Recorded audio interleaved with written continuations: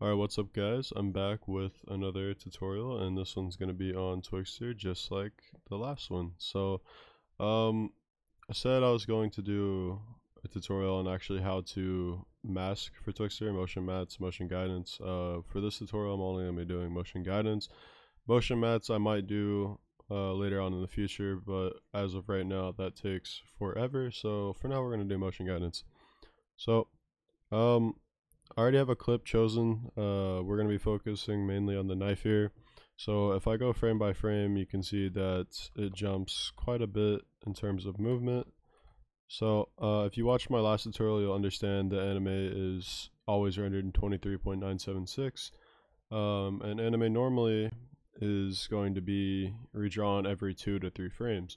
So if you don't know that, I'm going to go over it one more time really quick. If you want to see more in depth on that, go check out my other tutorial. Link will be in the description. So first things first, get your clip. Uh, you want to pre-compose it, so we can call it whatever. We're going to call this Twix 1. Move all attributes, make sure this is checked, hit OK. And we're going to open up this composition. As you can see, we have the entire clip. Now what you want to do is add Twixtor to it. So I have uh, a script, um, so I can just type it in do that. For you guys, it'd be effects and presets, you type it in.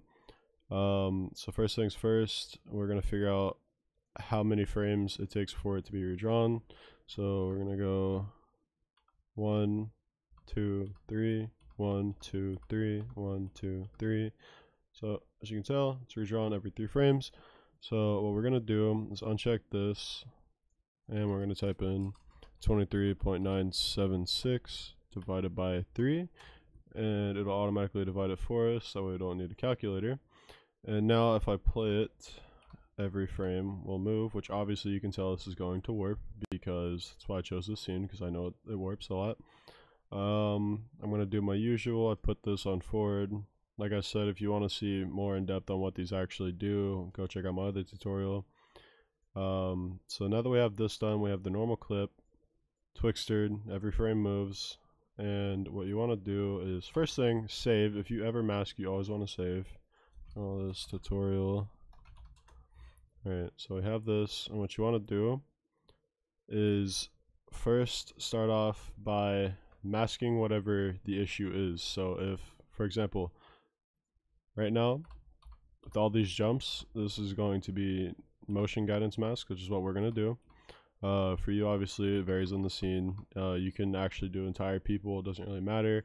But for now, really all I need to do is the knife and the hand. Nothing really, really else needs it. So we're going to do is we're going to hit G.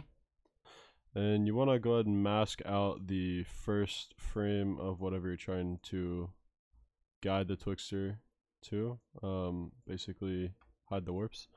So uh, I'm gonna go ahead and speed this up really fast um, for you guys once you're done. Make sure you mask out the entire thing. Don't do a sloppy. The sloppier it is, the worse it will warp. Well, the worse results you'll get, rather, I should say. So we're gonna speed this up.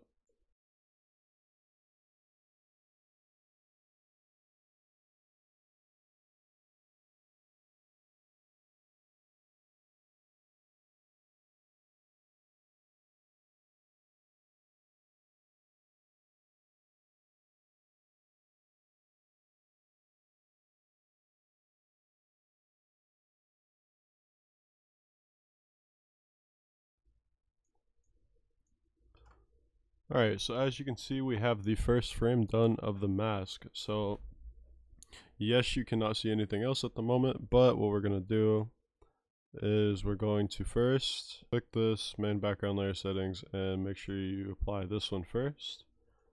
And what we're going to do, uh, so we can actually see what we're going to be masking, we're going to change the masking mode to none and the mask is still there it's just that you can see everything because it doesn't have any property to if I do subtract you're going to see everything but what it we masked add subtracts everything. So we're going to set this to none. Then you want to do is click the drop down arrow on the mask click mask path and this is when the fun begins.